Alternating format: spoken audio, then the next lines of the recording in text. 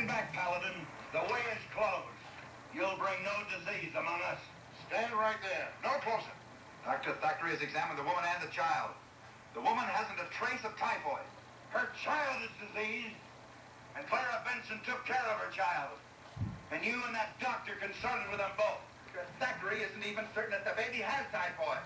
I'm sure I saw that child. The baby needs treatment. Now, what about it? Are you people going to let this man sentence a woman and her baby to death?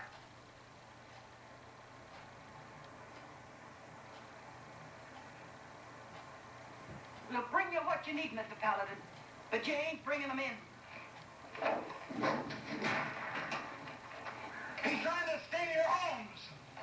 He's bringing this scourge of Satan down upon you. Stop him, I say. What about it? Who wants it? Who wants to preach the gospel? According to Mulrooney. Jonas, you want it?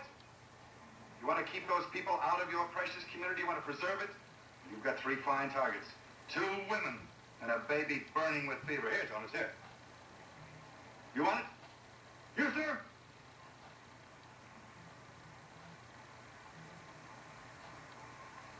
You're defying the will of Mulrooney. Here, Mulrooney. You show these sheep how you practice the art of righteousness. But, Paladin, they're diseased. We've got to protect ourselves. They're not as diseased as you are. You may be able to do this. You may be able to keep them out of your community.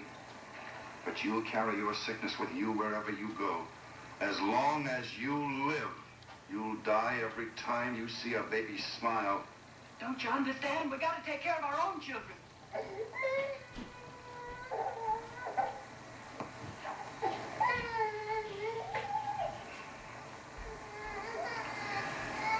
Your own children. Do your children sound any different than that when they cry? If one of your own children were sick and crying like that, would you send it out into the desert to die? I don't reckon I know. Well, you ask Mulrooney.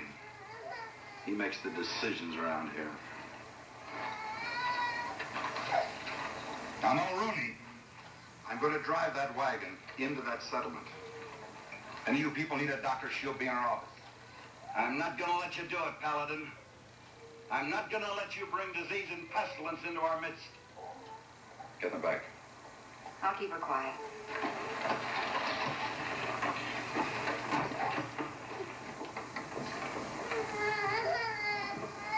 You know they're going to use those guns. Just keep her down.